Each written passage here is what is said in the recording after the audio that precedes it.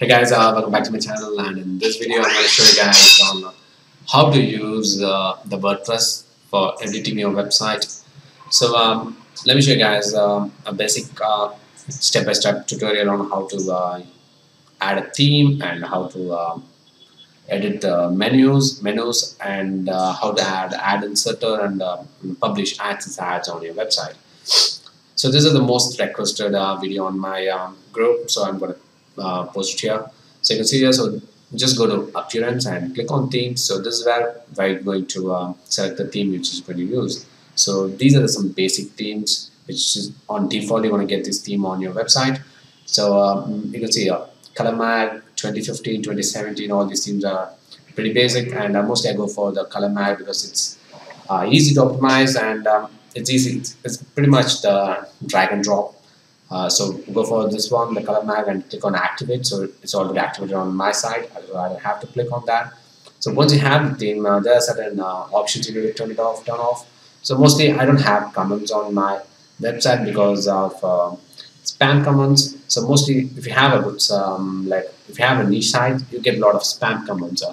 so like people try to promote their affiliate offers on your website or as a, they try to promote their website on your website, like uh, putting a link. So pretty much I have option where I have to uh, manually approve the comments. So uh, go to the settings here and go to general. So uh, you need to click on writing. So let me click on writing. Sorry, discussion, sorry. So uh, you can see the comment must be manually approved. Just check on this box so uh, every time you get a comment, uh, you're going to get a notification on inside your WordPress, and uh, you can um, uh, manually approve each comment. So mostly, I only I only approve comments which has no links on it. So if there's a link inside a comment, then mostly I won't approve it because they're trying to get visitors, uh, or else they're trying to promote some uh, information product or some product to their customers. So I don't do that. So you can also moderate your comments, like you can put in some words uh, you know like uh, you can moderate them like um, uh, you can copy paste some bad words from internet and put it here. Just mostly if someone types or try to type those words inside your WordPress then those words will automatically spam the um, uh, register as spam inside your uh, uh, website and it automatically moderates. So those ads sorry those comments won't appear on your blog. So you can do that and comment blacklist you can also blacklist the email or IP address if you are constantly getting uh, uh, comments from a certain IP. Just go for it and uh, just type the IP here and it's automatically going to block the uh, comments here. So um, pretty much that's it guys. This is how you need to uh, moderate your comments. So let me also show you guys on how to use um, the plugin section. So what are the plugins I have inside my website.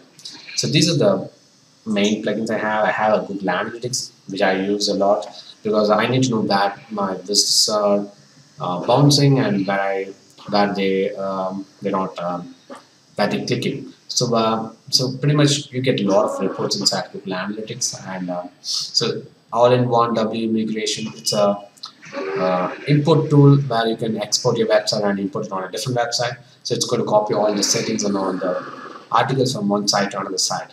So I use them a lot for safety purposes. So I, I export and keep it as backup inside my website. So you can also uh, back it up with your hosting provider, but I used to do, I used to do it with my uh, computer manually.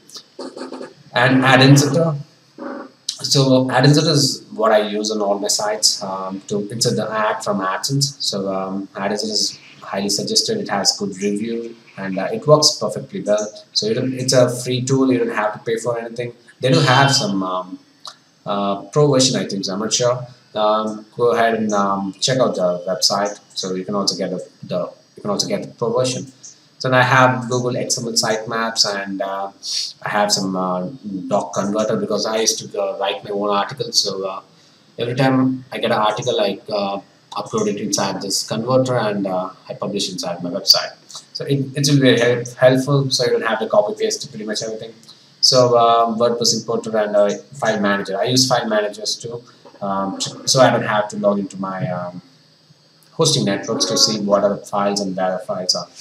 so mm, let me show you guys on where I get my um, articles from. So uh, I, uh, have a lot of websites I used to uh, work with. Uh, let me type for word agent.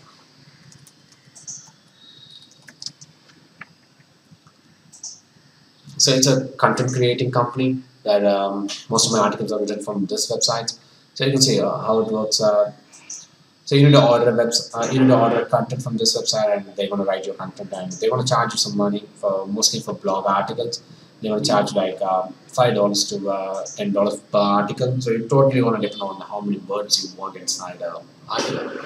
So on most of my sites, I have 800 plus article, 800 plus words on each article. So it's highly suggested. Uh, always go for 800 plus article, uh, 800 plus words article. Don't try to um, order some articles for 300, 300 words because uh, it's not going to get you a lot of money from AdSense.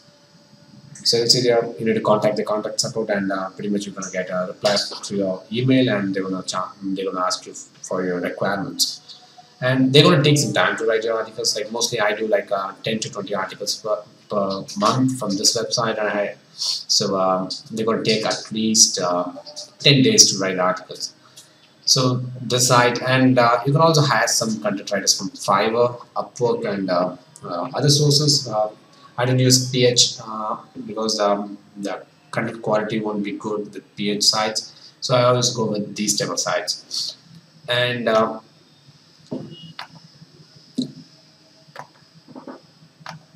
let me go back to the WordPress and uh,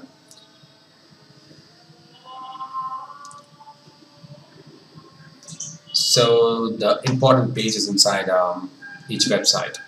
So let me show you guys what are the pages we have. So about us disclaimer and privacy policy and cookie policy terms and conditions. So these are the pages you need to have. So at least try to have these three pages privacy policy about us and terms and conditions which are very very important because uh, those ads bot might pick you and uh, they might demonetize your chat demonetize your um, uh, website for not having those pages uh, so it's not worth it. So you can um, there are a lot of um, content writers out there selling uh, these type of uh, pages for you for like uh, two three dollars. Just go for it and get it from them and just publish it here because it's not worth it so um, I do use uh, these features like uh, remove feature image because I want to have my own image there. Like uh, if you have a feature image, then it's going to uh, uh, it's not going to appear on um, ad inserter. So I don't like doing that. So uh, I always go for the remove feature images, and I have my own image inside an article.